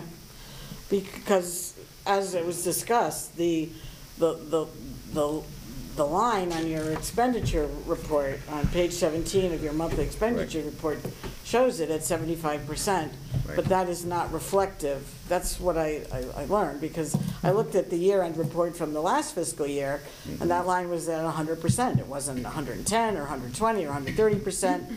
So um, you still feel that that 1.9, Yeah. that 26% in- increase Right. is, Right. is necessary? Okay. Um, But I li, I learned a bit tonight, and I, I love that. I love to learn. Okay. Um, I also wanted to talk to you, Mr. Chairman, about the um, town side presentation at the public hearing on April 9th. Um, Mr. Freda spent a great deal of time at that budget presentation, going over a lot of bonded projects in great detail, uh, to athletic fields, the Brozac Field, the Vanacore Field, lighting, lots of um, drainage issues, and they were all listed up there with amounts. And these were all bonded projects that were approved at a town meeting on September 18th of 2023. A matter of fact, at the hearing, I said, Yeah. gee, I feel like I'm at the town bonding meeting all over again. Um, I just want your opinion, Mr. Chairman, you were there. If this budget is reduced, or if this budget doesn't pass, none of those bonded projects will, will be affected. Those bonded projects are not in this budget as expenditures. But the debt service of those projects is. Of course they are. I don't even think we, we're paying on the debt. We Right. just authorized those on September 8th thing, we, mm-hmm. September 18th. I don't even think we've started to pay on those yet. And also, the, the, the debt service increase is only $336,000 from last year to this year, which is not very much of the $8.8 million total increase. But I think that someone watching that presentation might have looked up there at that screen, seeing all those projects, one after another, with the dollar amounts. Um, Here it is, a budget presentation, that those projects would be in jeopardy if this budget didn't pass. And I want to make that Yeah. clear that they will not be. Yes, the, the bond and interest for those projects. I mean, I think the total amount of the bonding was 17 million, but we only expect to bond about six because of Right. very high anticipated reimbursements, correct? Yes. So out of the 100 million plus debt that we have, that 6 million is a drop in the bucket. And really, I can't, s- I can't really say it's a big part of the budget. But there's another side to that, Okay. Sally. It, it, it, uh, there was, there was a cross dynamics that were occurring in that presentation. I wanted the people to know what they're getting in terms of, uh, for, for their tax dollars, okay? Because this came up, and, uh, th- these projects, you're right, will not be affected Thank you. they're not gonna be affected, so we'll say that publicly. Now, in the hundreds of people I've spoken to since that meeting, no one's brought that up to me. No one, um, has brought up the fact of, or, or questioning whether we're gonna lose those projects. No, we're not. But I'm trying, to I try to present a package that the town is doing a lot to enhance the town, whether it's drainage, recreation, uh, road work. That, that was the purpose of that, of of that, putting that in there. And maybe I'll take it out for the next presentation, if it caused confusion. Yeah, well, it just gave the impression, you're at a budget town, bu- budget public hearing. Some of your slides certainly covered costs in the budget. Other slides covered lots of real popular projects, especially in the sports world, um, that made it look like they were part of the budget. And I, I, uh, All right, I maybe just wanted to make it clear that those, those bonded projects are not dependent upon this budget to be done. They That's- will be done that's- because they've been approved Yes. to be done at a September 18th, 2023 town meeting. My final point is about the OPEB line Yeah. on page 36 of the budget. OPEB is other post-employment benefits. It's a hard uh, acronym to say, OPEB. I don't like saying it, but I have to say it. OPEB, there, I said it again. Um, The, the uh, budget has zero on this line. It's been 300,000 for many years, but the uh, Republican caucus reduced it from 300,000 to zero. Two years ago, um, Board of Finance member Mrs. Barrett, in her presentation of possible cuts, Mr. Chairman, suggested a $100,000 reduction in that line, going from 300,000 to 200,000. And um, it didn't go over well. The chairman, sitting at the time, um, said that you absolutely cannot touch the OPEB line, and was, with great exasperation, said anyone who knows or understands the OPEB line would never even dream of cutting it. And so that's what happened two years ago. So I want to know what has changed to now allow that OPEB line to go from 300,000 to zero, and if you feel like it is possibly a violation of GASB 45. All right, I, So su- I su- GASB I is- suggested the cut, Sally. Okay, Uh, It came from me. Okay. Um, I can't tell you what GASB 45 says, so I can't tell you what it is. Uh, What I can tell you is that um, in my role at my employer, uh, I see dozens, if not a 100 financial statements a year on municipalities. And uh, I know, and Mike also knows this, that um, every one of them has a massive OPEB liability. And, you know, you're supposed to be funding it, um, I guess like you do a pension, although there's no actual ARC required. Um, I think the reality is, is that for most municipalities, it's too daunting a number. I think, frankly, um, you may have heard Mike say here in the past that, you know, ideally, and that's what we've tried to do, we've tried to sort of at least show directionally that we're starting to put some money away, even though 300,000 is going to be nowhere near what the actual liability is, which I'm sure is in the CAFR, I just can't quote you what it is. Um, So I don't think it'll be viewed negatively, because unfortunately, the town of North Haven's similar to all the other towns and county governments that I see, which have a huge OPEB liability, so um, that was my rationale, if you will, for, for cutting it down to zero. okay. Well, GASB, for the folks listening at home, is the Government Accounting Standards Board, which is a nonprofit, non-governmental agency that sets um, reporting and accounting practices for states and municipalities, isn't that correct? Yes, that's correct. And GASB 45 specifically covers OPEB.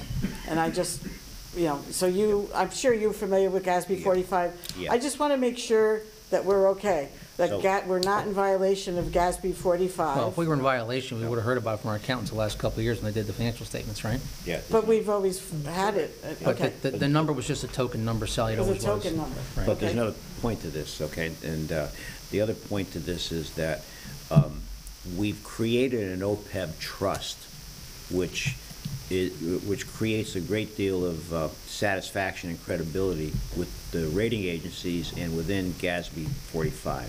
So uh, Tim came up with the recommendation. I accepted the rec, I said, okay, well, we can do that.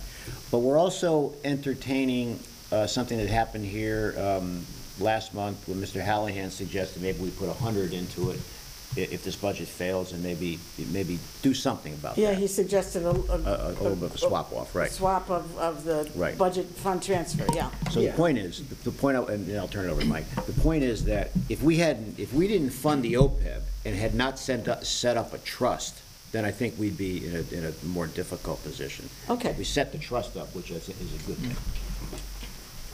Do you want to say something? Uh, Just that, that, yeah, we, we can reconsider this. We could also, uh, if we find savings somewhere else within the budget, even during the fiscal year, uh, we could handle it as a, as a, a- a mid-year uh, uh, transfer that would be, you know, approved by the public with all our line, end-of-year line uh, changes. So I, I just hope, that we just, let's keep this under consideration. Well, I was very surprised by it going to zero based on what happened two years ago. And that clicked in my head, GASB 45, which I had- was familiar with. So I just wanted to make sure We're that good. they were good. Now, if we kept not funding it, then we'd probably be in a more awkward position, but we can absorb a one-year no funding on OPEB. Tim was right. And as he said, he, in his career, he does this. He sees it. Okay, well, it, it caught me by surprise, and so mm-hmm. I'll take you that we are not violating GASB. We don't want to do that at all. Mm-hmm. So thank you for your time and attention. Thank you, Sally. Mm-hmm. All right, we have anyone else in the audience who'd like to speak?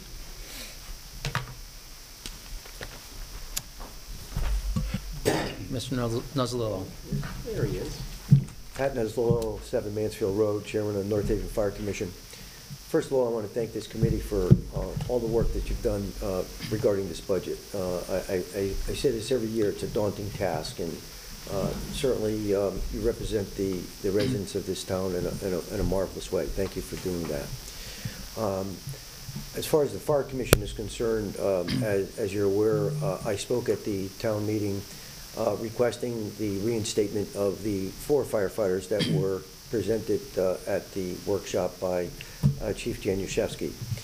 Um, I was hopeful prior to um, your your your votes uh, uh, tonight uh, to propose not the four firefighters, but to add two firefighters to continue on with Mike's plan to, on an annual basis, provide two firefighters uh, in order to uh, fulfill our, our goal. And our goal was to attempt to have 11 firefighters on per shift in order for us to be able to uh, derive a $90,000 savings per shift uh, in overtime.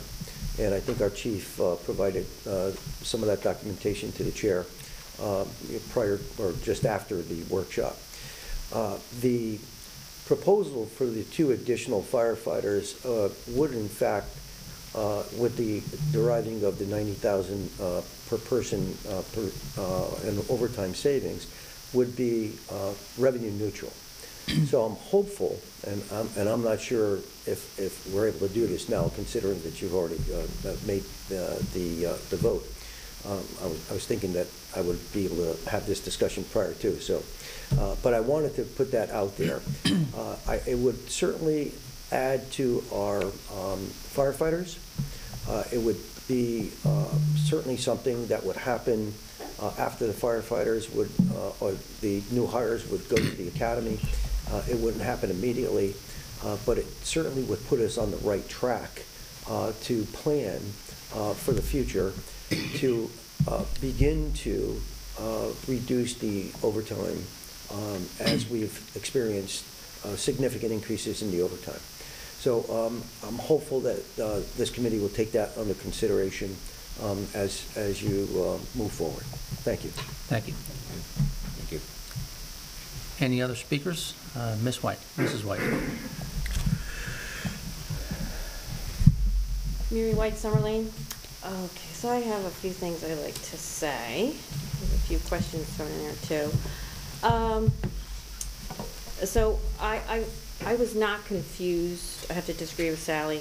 I was not confused with the slides, um, presented at the town meeting, um, where, uh, it showed a tax, where taxpayer money has been spent. I actually enjoyed that, getting a refresher on it, so I, I would like to see actually that to continue. Um, so I wanted to mention about the eight new positions, so correct me if I'm wrong. Five for the town, three for the Board of Education. And the Board of Education used state-funded money that ran out. So I am failing to understand the wisdom with um, hiring people and using money that you know will run out. So that, that's really bothersome to me. I wanted to, okay, about the revaluation, so we know Do you want to pause there and go through Oh, these I'm questions? sorry. we're never Oh, sure. gonna- I didn't know if it was like the meeting where I gotta like spit everything out. Well, um, let's, let's just address the new hires and go backwards. Well, we can't answer on the behalf of the Board of Ed. Uh, I could comment on it. Um, That's what they did two years ago, and that's what they did last year, Mary. Um, You know, I think what happened last year, if you remember, is that um, um, the board proposed a cut of, I think, 250,000, um, which was um, not tied, but it was, it came about because uh, we didn't want to have any new hires last year, and that was, I think, the all-in cost of the proposed three new hires, which were on grants prior to that. Um, I think what I've said before, and I think I said this last year, is that the Board of Ed exercised their discretion. They found cuts equal to that amount in other areas, and they, and they hired uh, those individuals. Um, We can't prevent that. So, I mean, the wisdom of it, that's a question for the Board of Ed. I'm just, I guess, relating to what I recall happening last year. Okay. Uh, But, but, but to be clear, that's, that's not what they're proposing this year. Okay. So this year, they're asking for brand-new positions Okay. that add to the budget. So they're asking for a school psychologist for the TLS program. Uh, They're asking for a special education teacher at Ridge Road. Um, uh, And uh, they're also, even though it's not specifically stated, because this position doesn't exist currently, they need to create the position of the second middle school assistant principal uh, at uh, North Haven Middle School, which this person was hired in Mar, in uh, August, and that has been in place, but it is an unbudgeted position. Because the position was created after the referendum, it is considered an unbudgeted position, which is why I mentioned three new positions. On the town side, uh, there's a new uh, bookkeeper three in the finance department, uh, two patrolmen uh, for the police department uh, starting in January, uh, an assistant senior center manager at the senior center, and a program admin two position in the assessor's office. So I hope that answers your question, Mary. Thank you. thank you. Sure. Um, so revaluation, which, we know it's coming, so which one is it? Does, does anybody know? Is it the one where they do the physical inspection and they come in your house? Or is it the other one? The other Okay. Thank you. Okay, yeah, so the fire department received no new firefighters last year. The fire uh, department is receiving no new firefighters this year. Uh, We just cannot keep underfunding uh, the fire department personnel when they provide this life-saving service to people of this town. They have a large volume of calls, they have overlapping calls, and they also have mutual aid obligations. And um, keep going at this pace, they're not going to be able to respond to you when you call 911 as quickly as you think.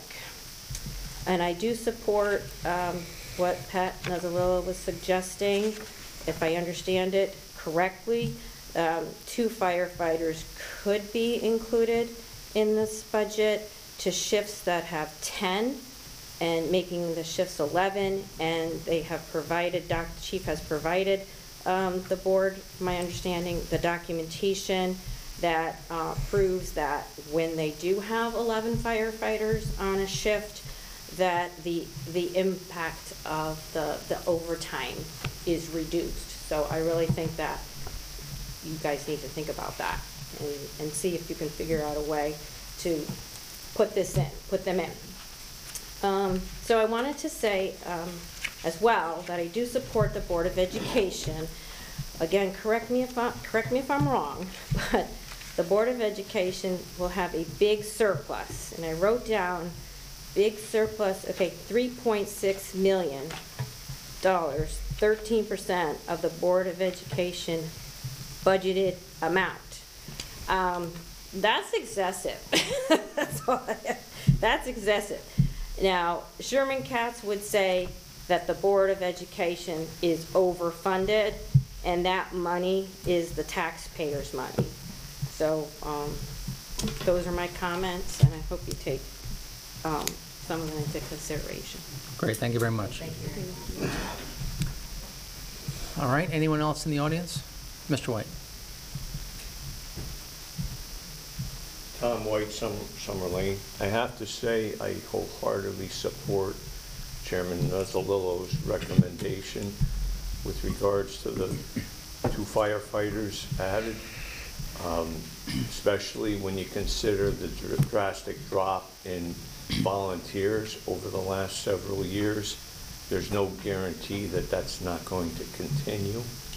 So I think if there's a possibility to bring on those additional firefighters with uh, no impact to the budget as far as numbers, um, if that could be accomplished, it'd be a great thing. And I also have to say that I'm not surprised with an increase in the mill rate for this year over the time that I've lived in North Haven and what I've witnessed as far as you as a board and Mr. Freda's efforts to save money. We are highly regarded as far as municipalities go in this state with our financial management. Uh, When I pay $120 going to Stop and Shop for the same groceries not too long ago that I paid $70 for, I can understand where those increases come from. So uh, I'm going to say, uh, I would like to, to support this budget as it is because of the fact it, it, it's as lean as it can be. Maybe a few uh, shifts could be made, but, but not many. I see most of it coming relative to our, our inflation nationally. So um, I applaud your efforts on trying to streamline things and trying to help us save.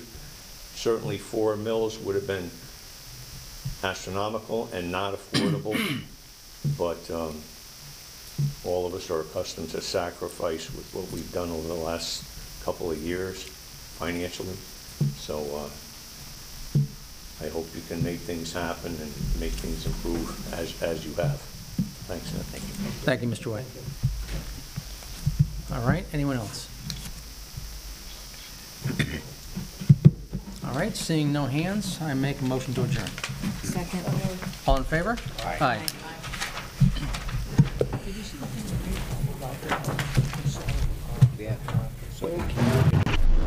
The preceding program is brought to you in part through a grant from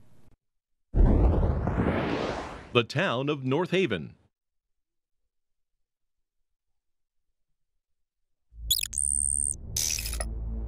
Watch town meetings or other videos on demand at nhtv.com.